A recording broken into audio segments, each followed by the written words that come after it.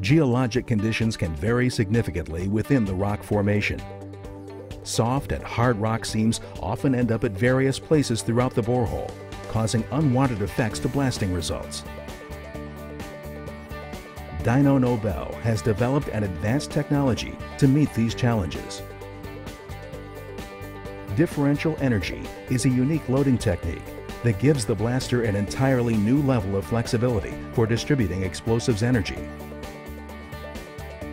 Now, multiple energy levels can accurately and quickly be placed in the borehole, exceeding the limitations of traditional bulk explosives.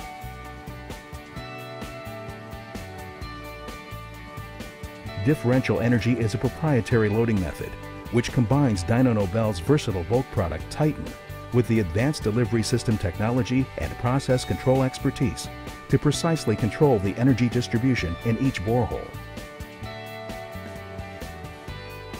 In its simplest application, differential energy can maximize explosives energy at the bottom of the borehole while minimizing energy density near the top. Differential energy allows selective placement of explosives energy in each borehole to match varying rock properties, putting the right energy in the right place. In fact, differential energy allows up to four explosives energy density profiles. This precise placement is delivered in a single pass at the same loading rates as conventional loading methods.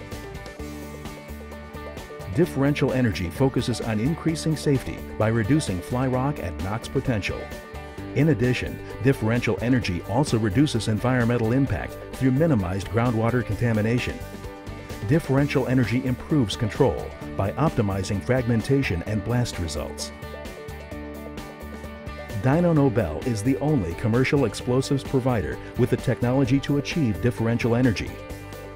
No single explosives product or system in the past century will add more value.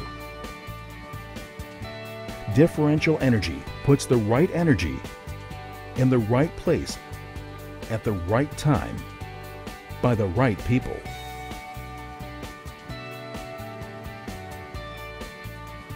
Contact Dyno Nobel today to understand how differential energy improves your blasting results.